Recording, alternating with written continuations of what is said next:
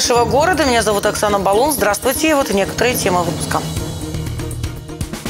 Армейские трагедии. Во время несения службы солдат из Вангапуровского погиб. Новоуренгойский срочник получил серьезные увечья. Бесчеловечность ради наживы, как одна из жительниц города обманом практически на улице и без денег оставила семью с ребенком-инвалидом. И снег идет, как выглядят ноябрьские дворы в первые дни северной зимы. Начну с трагедии, которые случились с ямальскими солдатами в армии. В Новороссийске в понедельник погиб житель Вангапуровского. Молодой человек нес службу по контракту. Призван из Ноябрьска он был в 2010 году. Там несчастный случай. Там действительно несчастный случай. Были учения, если вы знаете, это в Новороссийске. Вот. Но оборвался трос и его придавило. Э, парень не срочной службы, он заключил контракт. Э, призыв, по-моему, 2010 года. Ну вот так произошло. Э, проживали они на Венгапуре, сам он с Венгапура, да, вот, и проходил службу по контракту. А новый уренгойский солдат-срочник, который буквально за месяц до дембеля получил увечья в армии, сегодня был прооперирован. Напомню, трагедия случилась под Рязанью на полигоне 137-го парашютно-десантного полка. Нашему земляку оторвала кисть руки, раздробила голень и черепно-мозговую коробку. По предварительной версии, в руках десантника взорвался снаряд от противотанкового гранатомета. По факту тяжкого травмирования военнослужащего, которое произошло в поселке Дубрович Рязанской области, проводится военно-следственным отделом Рязанского гарнизона проверка. Обстоятельства произошедшего выясняются. Сегодня отец молодого человека по телефону рассказал председателю комитета солдатских матерей, что операция прошла успешно. Состояние солдата врачи оценивают как удовлетворительное. Вот что о произошедшем говорит Людмила Буряк. Мне позвонили родители 11 октября, э, сообщили о том, что произошел несчастный случай, э, что он был на полигоне, нашел именно не разорвавшийся с этой снаряд, и что он там с ним делал, что в результате он детонировал. Вот. Ну и повредил кисть руки, э, был удален глаз, и вот эта проблема с ногой. Вот. Что на самом деле произошло, сейчас идет следствие, никто точно не может сказать. Вот. Но но вот, тем не менее, знаете, как родители сразу сообщили мне, я сразу же позвонила и э, э, в окружной военкомат сообщила, и в правительство Ямальское, чтобы ну, поставить в известность о несчастном случае. Сегодня в Ноябрьск прибыла машина, которая повезет гуманитарный груз на Дальний Восток. Ее пригнали из Екатеринбурга. Сегодня вечером ноябрьские общественники и десантники машину загрузят, а уже утром она отправится в путь. Напомню, в Ноябрьске в помощь пострадавшим от нападения было собрано более 20 тонн гуманитарного груза. Это теплые вещи, констовары, игрушки и продукты длительного хранения. РЖД запустит 109 рейсов дополнительных поездов внутригосударственного сообщения в связи с повышенным спросом на пассажирские перевозки в период ноябрьских праздников. Дополнительные составы будут курсировать с 30 октября по 5 ноября. В частности, из Москвы запустят 11 дополнительных рейсов, а из северной столицы 10 поездов. Кроме того, в праздничные дни ноября РЖД пустит дополнительные международные поезда дальнего следования в Эстонию, Латвию и Финляндию.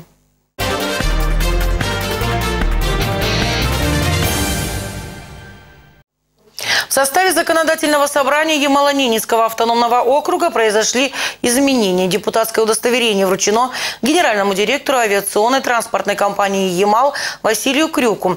Новый депутат по его желанию был включен в состав комитета Заксобрания по экономической политике, промышленности и природопользованию. Также Василий Крюк вошел в состав депутатской фракции политической партии «Единая Россия». Изменения произошли и в составе фракции ЛДПР. В ее состав вошел депутат Владимир Владимир Вдовин. Жители города возмущают дороги, уложенные в дождь. Новости нашего города подводят итоги очередного опроса, проведенного в сети интернет. В исследовании приняли участие около 1200 человек, и почти 40% из них назвали эту проблему главной. Каждый пятый респондент считает планировку городских улиц непродуманной, а 16% слишком узкими. 9,8% опрошенных, соответственно, назвали главной проблемой на дорогах водителей хамов и слепых пешеходов. Оптимистично настроена только десятая часть респондентов. Одна половина из них считает, что в городе вообще нет дорожных проблем, а другая, что в Ноябрьске лучшие дороги в России. Переходы в никуда, установка бордюров и походные палатки в центре города. Все это сегодня на улицах Ноябрьска наблюдала наша съемочная группа. Подробности в рубрике «Нам здесь жить».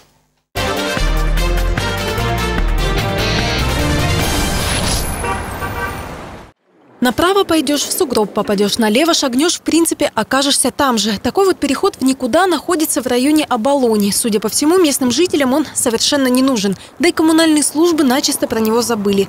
Подступиться к зебре можно разве что с боем. И в качестве вооружения использовать лучше лопату. Видимо, пешеходы должны сами расчищать себе дорогу. Кстати, такая покинутая зебра здесь не одна. На этом участке дороги их прямо-таки целый табун. На отрезке примерно метров в 100 удалось поместить аж три целых перехода тогда как по ГОСТу расстояние между ними должно быть как минимум 200 метров. В Ноябрьске до сих пор продолжается благоустройство. К примеру, на республике рабочие усиленно что-то выкапывают. И делают они это уже несколько дней подряд. Причем некоторые не стесняются использовать топоры. Кстати, для жителей города до сих пор остается загадкой, почему работы на дорогах, в том числе по укладке асфальта, установке бордюров и даже покраске дорожных ограждений, ведутся именно в снежную погоду. Активно трудятся дорожные службы и у центральной городской больницы люди в оранжевых жилетах уже вырезали часть асфальта и вроде бы заняты укладкой проводов, а снег все идет. И в тему о снеге. Обстановка на дорогах, если не критическая, то в скором времени станет таковой. Обильные осадки основательно замели проезжую часть. Теперь движение по улицам Ноябрьска больше напоминает курс экстремального вождения. Снегоуборочная техника на дорогах, конечно, появлялась, но, судя по состоянию проезжей части, усилия дорожников оказались недостаточными. Хотя вот этот участок дороги вряд ли касались ковши спецтехники. Не дали, как несколько дней назад здесь еще стоял знак ремонтной работы. Стоял он всего ничего, каких-то пару месяцев. На этой неделе загадочно исчез, что позволяет судить о том, что работы, по всей видимости, окончены. А вот сугроб, который случайным образом получился на проезжей части, пока еще на своем месте.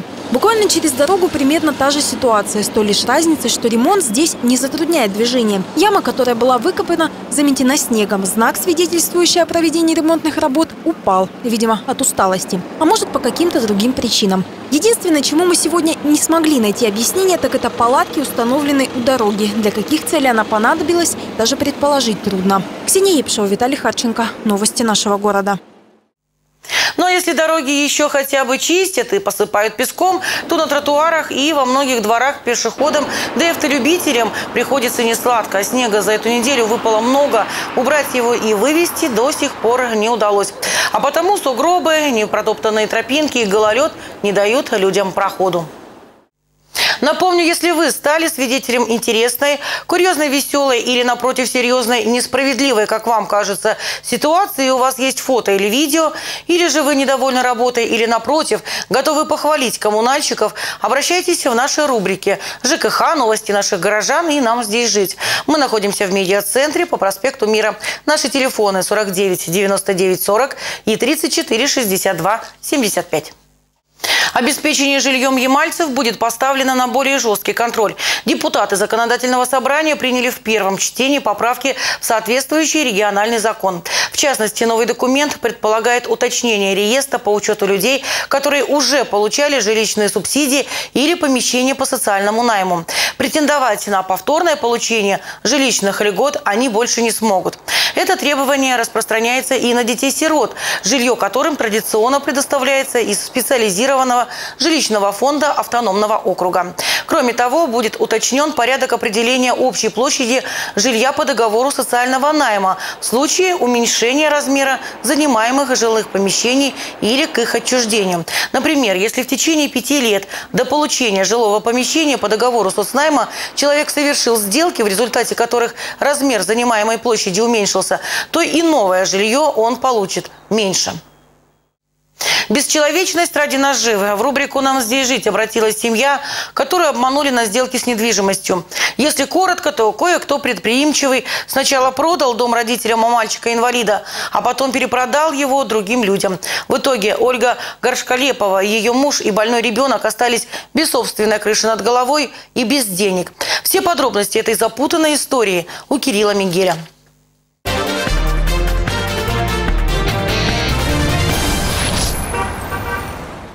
Дом-сказка, дом-мечта. Для маленького Артема двухэтажные хоромы в одноименном дачном поселке должны были стать настоящей отдушиной. Выезжать на курорты или на землю к родственникам мальчику не позволяет здоровье. А пластическая анемия. Его костный мозг практически не работает.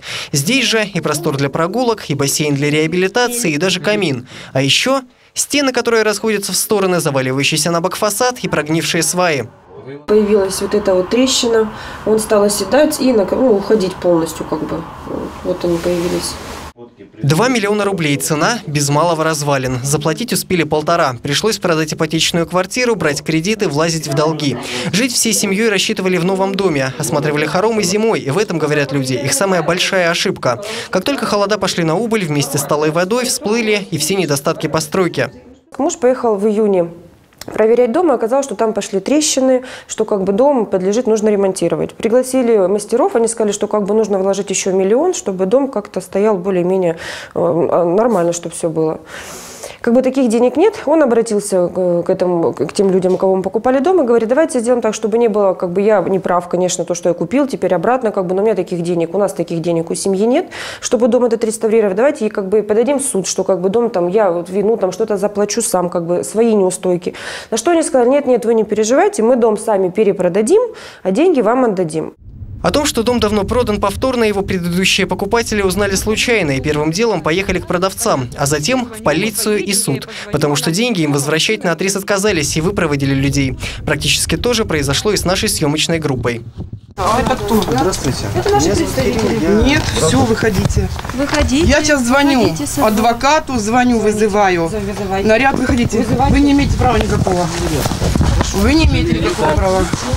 По всем документам продавцом является вот эта женщина. И все по тем же документам беднее человека в городе просто нет. По решению суда половину своей зарплаты она платит обманутым людям. А это 8,5 тысяч в месяц. Чтобы полностью покрыть долг и вернуть полтора миллиона, работать ей теперь придется 32 года. При том, что через два она выходит на пенсию. Предприимчивая продавщица решить вопрос предлагала полюбовно. Вернуть миллион, а об остальной сумме предложила забыть. Немного настораживает, потому что эта история длится уже, не считая того года, тех судов, что у нас прошло, длится уже 4 месяца, и что никак это опись имущества просто не может произойти. Вот это просто настораживает. Но приставы все же своего добились. Имущество женщины описать удалось. Вот только это капля в море. Теперь обманутым людям приходится жить в квартире родственников, а их сыну необходима пересадка костного мозга. Только по самым грубым расчетам это 3 миллиона рублей. Если, конечно, найдется донор. Его поиски за границей обойдутся в 600 тысяч за каждые полгода. Удивлению и возмущению Гашкалеповых просто нет предела. Потеряла веру в людей, говорит Ольга. Ведь чужого им не нужно. Хочется просто вернуть свое. Кирилл Мигель, Виталий Харченко, Александр Иванов. Новости нашего города. Кто готов оказать или организовать помощь нуждающимся в ней детям, выяснил фонд общественного мнения. 28% россиян утверждают, что в последний год-два им приходилось жертвовать деньги. Выразили готовность помочь в ситуации, когда требуются средства на лечение конкретного ребенка 44% наших сограждан. Чаще всего люди говорят, что передали бы наличные организаторам сбора денег или перечислили бы средства со своего банковского счета. А вот что касается сумм, то если речь идет о единовременном денежном пожертвовании на помощь детям, то 21% опрошенных отдали бы меньше десятой доли зарплаты. До половины ежемесячного дохода выделили бы всего 2% респондентов. Большую часть своих денег из числа опрошенных не пожертвовал бы никто даже единовременно. К счастью, Ноябрьск как раз славится тем, что к особым детям здесь особое внимание. Во всяком случае, общественные организации и педагоги стараются максимально разнообразить хотя бы досуг детей с ограниченными возможностями здоровья. На этот раз они собрались в маленьком цветочке на празднике урожая. Немаловажно, что на осеннем балу здесь присутствовали не только воспитанники детского сада, но и те малыши, которые по состоянию здоровья каждый день посещать образовательные учреждения не в состоянии. Судя по улыбкам детей, понятно, что праздник удался. Развлекательная программа с конкурсами и театральными постановками понравилась и детям, и взрослым. Ну, такие мероприятия в нашем саду проводятся, скажем так, не очень часто, но можно назвать их традиционными. Они проводятся совместно с организацией нашего города «Необычные дети Ноябрьска», также при участии наших детей-инвалидов, которые посещают наши дошкольные учреждения.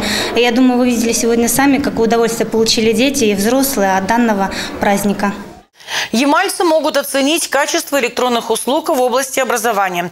Роспотребнадзор проводит опрос жителей округа, в ходе которого попытается выяснить их отношение к возможности электронной записи детей в детские сады. По словам специалистов, это позволит проверить качество оказания государственных и муниципальных услуг в сфере образования с точки зрения конечных получателей – граждан. Поставить свою оценку или ответить на несколько анкетных вопросов можно на сайте Департамента образования округа. Ну и в завершении коротко о том, что интересного на этой неделе для своих читателей подготовили корреспонденты газеты «Слово нефтяника». Слово нефтяника. Читайте в свежем выпуске. В многонациональной России очередное обострение националистической лихорадки. Как детонатор сработало резонансное убийство 25-летнего Егора Щербакова, гражданина Азербайджана в Бирюлеве. Согласно официальным данным, наш округ сегодня занимает третье место после Москвы и Петербурга по привлекательности для иностранных граждан. Их количество сегодня превышает 90 тысяч человек. Как обеспечить в регионе национальный мир и согласие? Ответ на этот вопрос пытались найти журналисты СН на первой полосе издания. Каждый рабочий день в жизни Жанны Латышевой, заместителя начальника отдела кадрового администрирования и планирования персонала, не похож на другой, ведь ежедневно ей приходится взаимодействовать с людьми. Коллектив «Газпромнефть» Ноябрьск нефтегаза большой, у каждого сотрудника свои вопросы к кадровой службе. Материал о том, как сегодня работает эта структура, читайте на пятой полосе.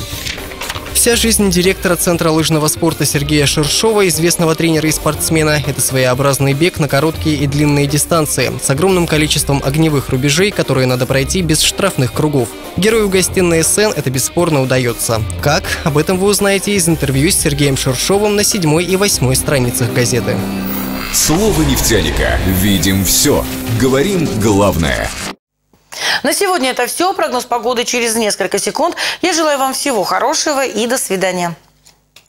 Партнер программы – магазин Поти Сантверса, торговый центр «Клубника».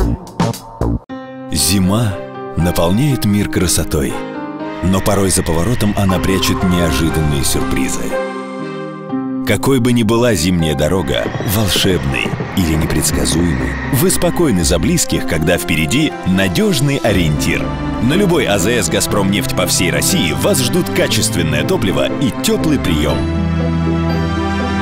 Сеть АЗС «Газпромнефть» – надежный ориентир на зимние дороги.